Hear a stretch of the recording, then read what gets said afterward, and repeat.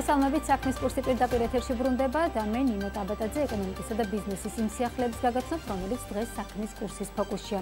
წელს რუსების მასიურმა შემოდინებამ და ფულადი გზავნილების მკვეთრმა მატებამ საქართველოს, სომხეთისა და ტაჯიკეთის ფლანიში და პროდუქტების მნიშვნელოვანი ზრდა და ამ ქვეყნების ვალუტების გამყარება გამოიწვია.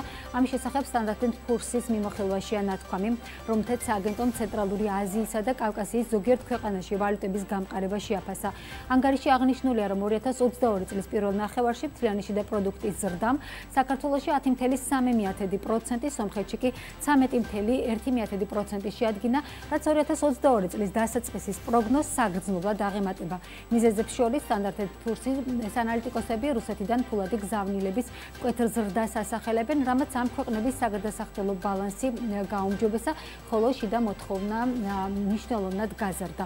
აღსანიშნავია ისიც, რომ სტანდარტ ფურსის მონაცემებით მარტის დასაწყისიდან დოლარის მიმართებაში ქართული ლარი 20%-ით, ხოლო სომხური დრამი 30%-ით არის გამყარებული, რამაც ეს ვალუტები განვითარებადი ქვეყნების გაცვლითი კურსის სეგმენტში ლიდერებად აქცია.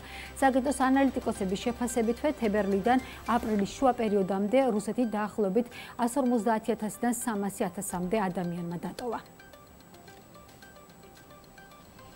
საპენსიო სააგენტო საინვესტიციო მანდატის გაფართოებას და მსხვილი პროექტების პირდაპირი დაფინანსების უფლებას ითხოვს.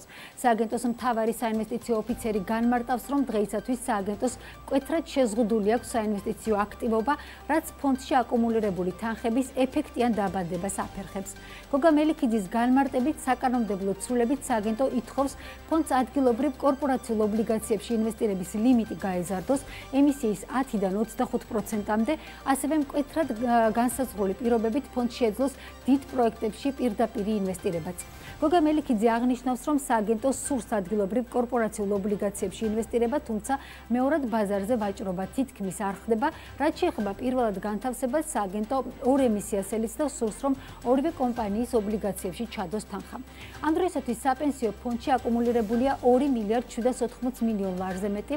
აქედან საინვესტიციო საქმიანობის შედეგად მიღებული წმინდა ამონაგები 397 მილიონ ლარში ადგენს. რეალური ამონაგები კი მაღალი ინფლაციის ფონზე მხოლოდ 1.4%-ია. ჩვენ დღეს შეგვიძლია ინვესტირება მხოლოდ ტრადიციულ აქტივის კლასებში, აქციები, ობლიგაციები, ფულადი სახსრები და ვიფიქრეთ, რომ გაგვეფართოებინა სხვა აქტივის კლასები, როგორიც არის მაგალითად, აი ვიტყვი ფონდებში ინვესტირება, აი private equity რო გამოიყონ, კერძო ფონდში ინვესტირება და ამის საშუალება რო კონდეს. ამავდროულად რო კონდეს, როგორც აღნიშნე, ამ covered bond-ებში ინვესტირება.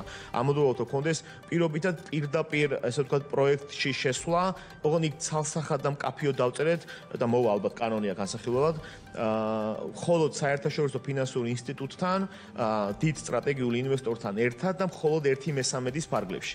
ანუ გვინდა რომ გავაჩინოთ სივრცე პირდაპირ ინვესტიციაში ინვესტიციის, ოღონდ ძალიან ფრთხილად სწორ სინდიკატში კლინიკების დაფინანსების DRG სისტემის ამოქმედების შემდეგ საყოველთაო ჯანდაცვის პროგრამა პაციენტებს VIP მომსახურებას აღარ დაუფინანსებს. ჯანდაცვის მინისტრის განმარტებით, ყველას ვისაც ექნება სურვილი VIP სერვისით ისარგებლოს, თუ დაზღვეულიათ ან საყოველთაო ჯანდაცვის სარგებლობს, ერთჯერადად შეიძლება გაეთიშოს საყოველთაო ჯანდაცვას და სადაზღვევომ დაუფინანსოს სრულად მომსახურება.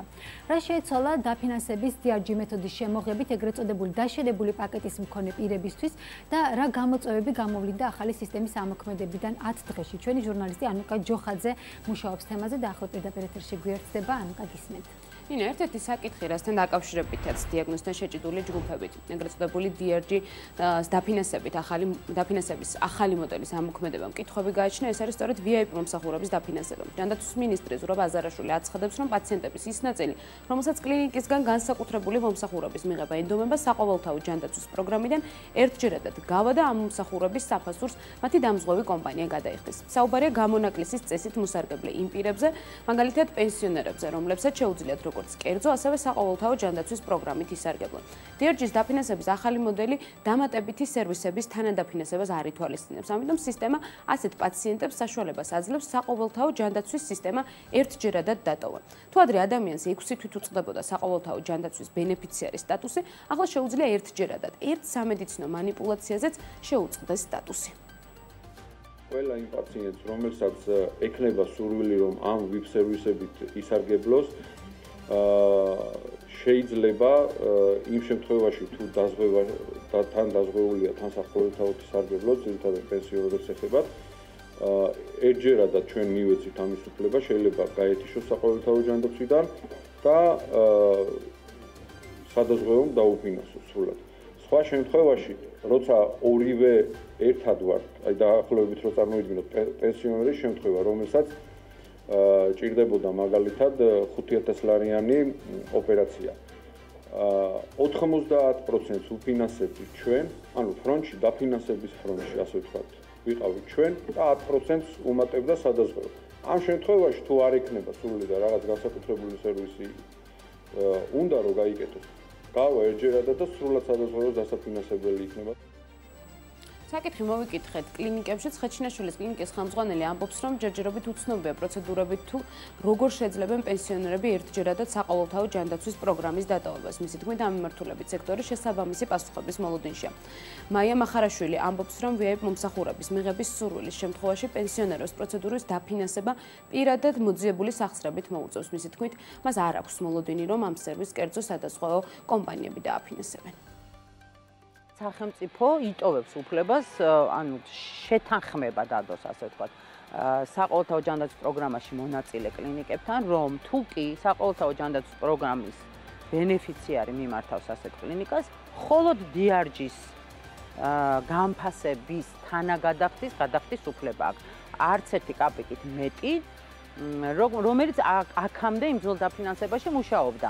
პირობითად საყოველთაო აფინანსებდა რაღაცას 1000 ლარით, კლინიკას განფასებული ქონდა ეს ჩარევა 2000 ლარით და ის განსხვავება იფარებოდა პაციენტის მიერ, ხო?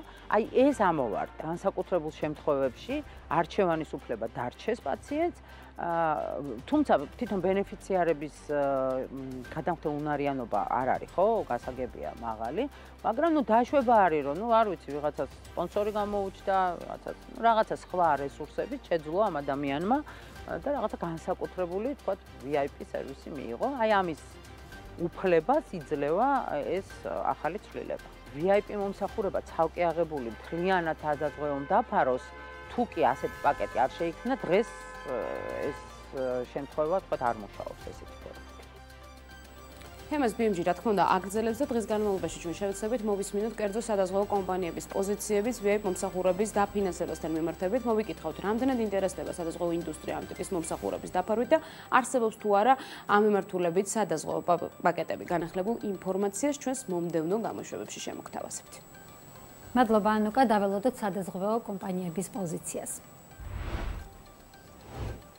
გამშვება სხვა თემებით ვაგრძელებთ სატელევიზიო და რადიო მაუწყებლებს სარეკლამო შემოსავლების შეუმცირდა ბაზრის ჯამურმა შემოსავალმა 16 მილიონ 300 ლარი შეადგინა, რაც წინა წლის ამავე პერიოდთან შედარებით 1.7 მილიონი ლარით, ანუ 9%-ით ნაკლებია. კომუნიკაციების კომისიის მონაცემებით სარეკლამო შემოსავლების კლება სავარაუდოდ აზარტული თამაშების სამაუწყებლო რეკლამის შესახებ ახალმა რეგულაციამ გამოიწვია, რომელიც ძალაში 2022 წლის 1 მარტიდან შევიდა. კომისიის ინფორმაციით 2022 წლის მესამე კვარტალში ჯამურად მხოლოდ ტელევიზიების სარეკლამო შემოსავალი 15 მილიონი ლარი იყო, საიდანაც 69% პირდაპირ რეკლამამ შეადგინა სპონსორების წილი კი ჯამურ სატელევიზიო სარეკლამო შემოსავლებში 17% იყო, რაც წინა წელთან შედარებით თითქმის 8%-ით არის გაზრდილი. კონკურენციის ეროვნულმა სააგენტომ კომპანია დემაკლენკოს საჩივარი დაუშვებლად ცნო წარმოქმნილი საჩივარი ეხებოდა MTA-ის მიერ კონკურენციის შესახებ საქართველოს კანონის მიათე მუხლის სავარაუდო დარღვევის ფაქტს, რაც გულისხმობს ადმინისტრაციული ორგანოს მიერ კონკურენციის შესაძლო შეზღუდვას. კონკურენციის ეროვნული სააგენტო განმარტავს, რომ კანონმდებლობის მიხედვით სააგენტო უარს ამბობს მოკლევის დაწყებაზე, თუ დავა სასამართლოში წარმოებაშია იმავე მხარეებს შორის იმავე დავის საგანზე. კონკურენციის სააგენტოს მიერ დემაკლენკოს განაცხადის მოკლებაზე უარის თქმა არასწორი გავლენების შედეგია, ასე აფასებს იტალიური კომპანია დემაკლენკოს უფლება დამცველი კონკურენციის სააგენტოს გადაწყვეტილებას. კახა კოჟორიძე მიიჩნევს, რომ კომპანია სასამართლოში ითხოვს შესყიდვის აქტის ბათილად ცნობას და ზიანის ანაზღაურებას. კონკურენციის სააგენტოსგან კი ითხოვდა დაედგინა დაარღვია თუ არა შესყიდვის პროცესში კონკურენციის პირობები შემსყიდველმა. შეგახსენებთ, რომ დემაკლენკო საქართველოს მთავრობისა და კომპანია MTA-ის წინააღმდეგ სამართლ სამართლებრივ დავას აწარმოებს, რომელიც აგვისტოში დაიწყო. კომპანია მიიჩნევს, რომ MTM ბაკურიანის გათოვლიანების სისტემის მონტაჟის შესახებ 90 მილიონიანი კონტრაქტი სავარაუდოდ კორუფციული სქემებით გააფორმა, რაც ტენდერში მათი წინადადებების დისკვალიფიკაციით დასრულდა. კომპანია ეჭობს, რომ ტენდერის პირობები კონკურენტზე იყო მორგებული.